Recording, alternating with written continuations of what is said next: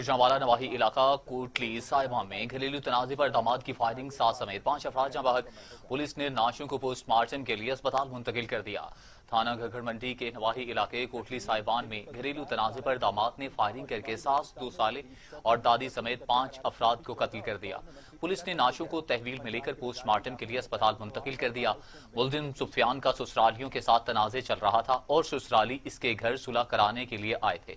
मुलजिम ने फायरिंग करके पाँच अफराद को कत्ल करके मौका से फरार हो गया। साहिवाल के नवाही इलाके थाना बहादुर शाह में देरीना दुश्मनी पर एक शख्स को कत्ल कर दिया गया। मकतूल मंजूर की उम्र 55 साल, मकामी सहाफी चौधरी अब्दुल हफीज का भाई था। मुलजमान के नाम मकसूद उर्फ़ सईद और वहीद है। मकतूल दो बेटियों का बाप था। पहले भी मुलजमान हमला कर चुके थे। मकतूल को कत्ल करने वाले मुलजमान इसके करीबी रिश्तेदार हैं। मरदान में फायरिंग करके दो अफराद को कत्ल कर दिया गया। गोलियाँ लगने से छह अफराद जख्मी हो गए। मरदान में एक तकरीब के दौरान दो ग्रुपों में गोलियाँ चल गईं। गोलियाँ लगने से दो अफराद मौका पर ही दम तोड़ गए, जबकि छह अफराद जख्मी हुए, जिन्हें अस्पताल मुंतकिल कर दिया गया। दो जख्मियों की हालत तशवीशनाक बयान की जाती है। जंग में पुलिस ने शोरकोट में अंधे कत्ल का सुराग लगा लिया। मुलजिमान गिरफ़्तार एतराफ जुर्म भी कर लिया। मकतूल रिक्शा ड्राइवर है। मकतूल की शनाख्त मजहर इकबाल के नाम से हुई। गिरफ़्तार मुलजिमान ने दौरान तफ्तीश, कत्ल का एतराफ करते हुए इंकशाफ किया कि मकतूल लोडर रिक्शा चलाता था। पाँच दिसंबर को रिक्शा बुक किया और घलाना कमलाना लेकर जाकर मजहर इकबाल को तशद करके कत्ल कर डाला। मुलजिमान के कब्जे से मकतूल का लोडर रिक्शा और मोबाइल फ़ोन बरामद कर लिया गया। मंदिया में तेज रफ्तार, मुसाफिर बस और रिक्शा में तसादम हो गया। दो अफराज जहाँ बहक, जबकि दो जख्मी हो गए। अस्पताल मुंतकिल कर दिया गया। मियाँ वाली के इलाके खंतिया में चश्मा रोड पर मुसाफिर बस और रिक्शा में तसादम, जिसके नतीजे में इकराम और शहजाद जहाँ बहक हो गए। इक्कीस साल रेहाना और चार साल इरम शदीद जख्मी हालत में अस्पताल मुंतकिल।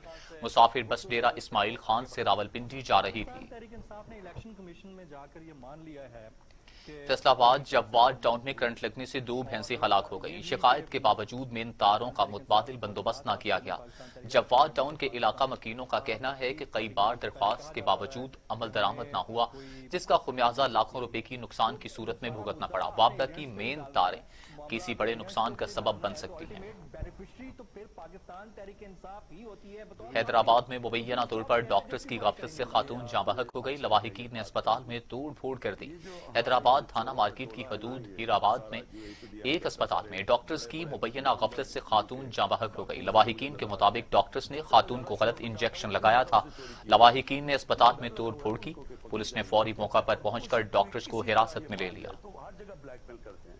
मुझे बड़ी खुशी हुई सरगोदा के सफे अव्वल के real estate group Shalimar group of companies ने अपने नए प्रोजेक्ट शालीमार स्मार्ट सिटी के लिए दुनिया के बेहतरीन माहिर तामीरात को लाने का फैसला कर लिया, जो इलाके का सबसे पहला स्मार्ट सिटी होगा। शालीमार ग्रुप ऑफ़ कंपनीज़ ने शालीमार स्मार्ट सिटी के लिए कंपनी मेन हर्ड के साथ एम ओ यू साइन कर दिया। एलियन के जेर एहतमाम मैरियट होटल इस्लामाबाद में खसूसी तकरीब हुई। दोनों ग्रुपों के अरकान सनती माहरीन गैर मुल्की और मुकामी कारोबारी शख्सियात ने तकरीब में शिरकत की। इस रिहायशी मनसूबे को दुनिया के बेहतरीन urban planners group of Singapore ने डिज़ाइन किया, जिनका मकसद बाहमी हम आंकी से काम करना है, क्योंकि वो शालीमार ग्रुप की कामयाबी को अपनी कामयाबी समझते हैं। शालीमार ग्रुप ऑफ़ कंपनीज़ के चेयरमैन मलिक खजर हयात अवान ने कहा कि शालीमार स्मार्ट सिटी पंजाब में बैन अवी मैार के मुताबिक रिहायशी मनसूबा बनाने का नुकता नज़र और तीस साल सफ़र है। हम सरगोदा के लोगों की तर्ज ज़िंदगी में तब्दीली लाने जा रहे हैं। इसके अलावा ये मनसूबा पूरे मुल्क के सरमायादारों के लिए भी है।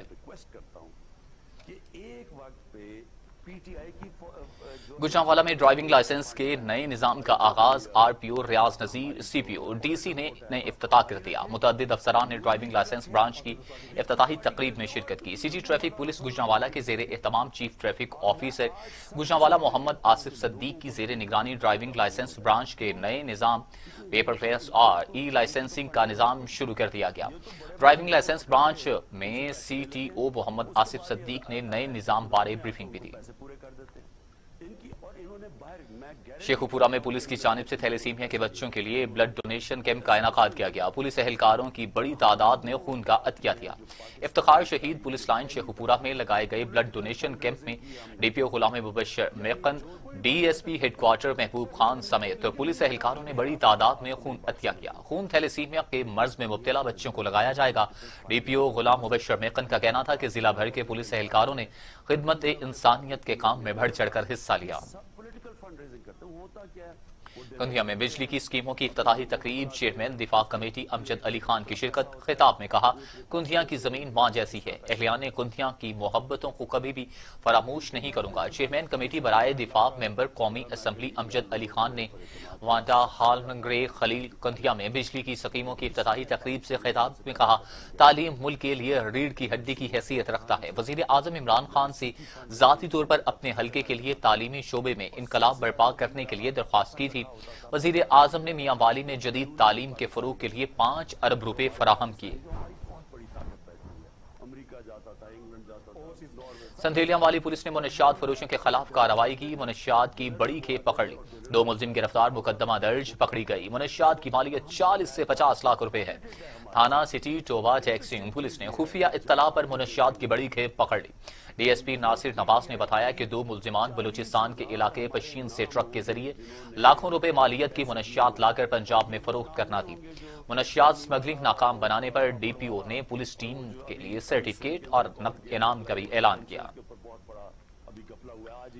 जमात इस्लामी खैबर पख्तूनखा के सूबाई जनरल सेक्रेटरी अब्दुल वासे कहते हैं कि अपोजिशन जमातों और मौजूदा हुक्मरानों में कोई फ़र्क नहीं है।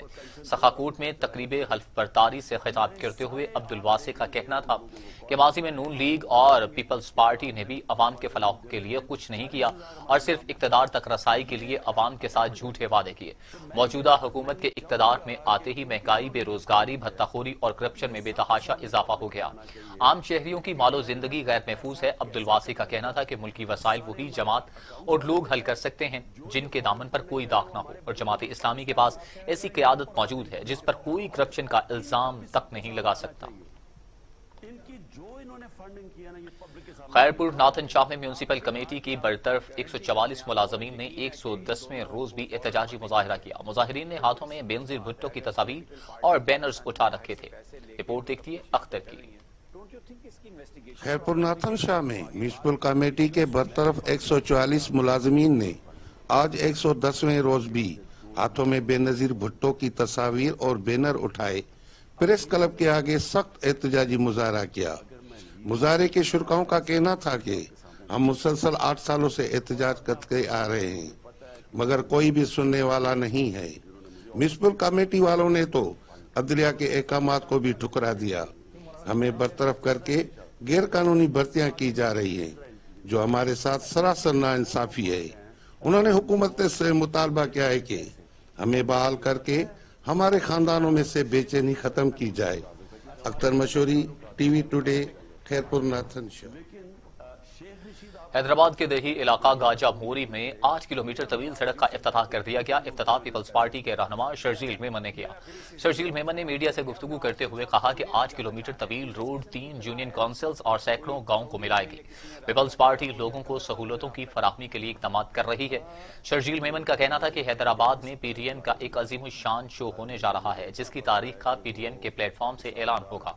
इमरान खान और विफाक की वुजरा को इकतदार में रहने का कोई हक नहीं है। और मैच देखिए मज़ेदार दौलतपुर में गैस गायब हो गई मकीनों की मुश्किल बढ़ गई। बिला जवाब लोड शेडिंग के खिलाफ शहरी सड़कों पर निकल आए और शदीद नारेबाजी की। दौलतपुर में गैस की लोड शेडिंग के खिलाफ शहरियों ने एहतजाजी रैली निकाली। शदीद नारेबाजी की गई जबकि मुजाहरीन का कहना था कि दौलतपुर में रोज़ाना गैस की लोड शेडिंग की जाती है। सख्त मुश्किल का सामना करना पड़ता है। मजदूर तबका चार सौ रुपए दिहाड़ी कमाता है और गैस न होने की वजह से पाँच सौ रुपए फ़ी मन महँगे दामों लकड़ियाँ खरीदने पर मजबूर है। डेरा मुराद जमाली के इलाके मंगोली में ज़मीन के तनाजे पर एक कबीले ने कौमी शाहराह पर धरना दे दिया। टायर चलाए और शदीद नारेबाजी की। डेरा मुराद जमाली में दो कबाइल के दरमियान अराजी के तनाजा चल रहा था। अराजी वागुजार न होने पर एक कबीले के अफराद मुश्तिल हो गए और सिंध बलोचिस्तान कौमी शाहराह पर धरना दे दिया। मुजाहिदीन ने टायर जलाए और शदीद नारेबाजी की। पुलिस और ज़िले इंतजामिया के मुजाकर के बाद कौमी शाहरा को खोल दिया गया। सात सेव पीपल वेलफेयर फाउंडेशन की जानब से गरीब और मुस्तक बच्चों को सर्दियों से बचाने के हवाले से जूते तकसीम किए गए। सात सेव पीपल वेलफेयर फाउंडेशन की जानब से खसूस तकरीब हुई जिसमें जूते ऐसे बच्चों में तकसीम किए गए जो सख्त सर्दी में भी नंगे पाँव थे। सात सेव पीपल वेलफेयर फाउंडेशन के मुताबिक बच्चों को जूते देने का सिलसिला मौसम सरमा में जारी रहेगा। दस्तरखान की कुछ ऐसी तस्वीरें मेरी नज़र से गुजरी कि जिनमें लाइन में कुछ ऐसे बच्चे लगे हुए थे जिनके पाँव नंगे थे। तो मेरे दिल को बहुत तकलीफ़ हुई है और मैंने कहा कि इस सर्दी, इस शदीद सर्दी में इन बच्चों के पाँव में जूते नहीं है। मैं चाहती हूँ कि हर बच्चे के पाँव में जूता और बच्चियों के सर पर दुबट्टा ज़रूर हो। तो बस यही सोच के मैंने ये अपनी टीम से मशवरा किया। तो मेरी सारी टीम ने मेरे साथ पूरा कोऑपरेट किया और इसीलिए हमने आज ये प्रोग्राम किया है कि हम ये बच्चों को सॉक्स और जो शूज़ हैं वो दे रहे हैं। असल में ये बच्चे हमारे बच्चे हैं, पाकिस्तान के बच्चे हैं, हम सब के बच्चे हैं। तो इनको नंगे पाँव देख के मुझे अच्छा नहीं लगा है, मेरा दिल दुखा है। तो इसीलिए आज हमने ये प्रोग्राम किया है। इन जब जब हम कोई भी ऐसी कमी देखेंगे तो हम कोशिश करेंगे कि हम इनका साथ दें। न्यूज़ स्टूडियो से फिल वक्त के लिए इतना ही मजीद खबरों और अपडेट के लिए देखते रहिए टीवी टुडे क्योंकि खबर सबसे पहले।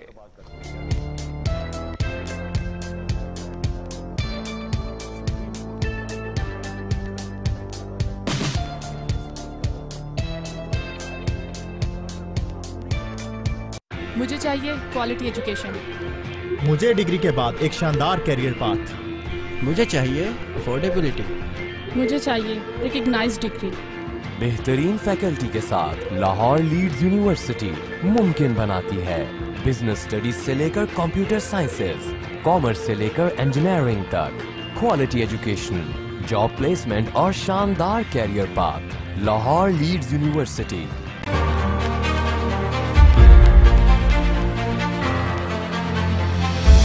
सहाफत में मेरे 35 साल।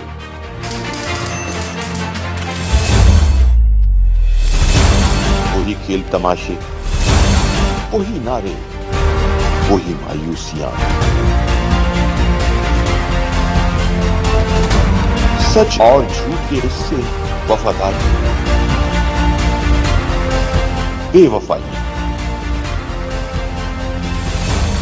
ताकतवरों के कह कहे बेबसों की सिस्कियाँ कौन बदलेगा ये सब? शायद सोचते तो होंगे। क्यों है ऐसा?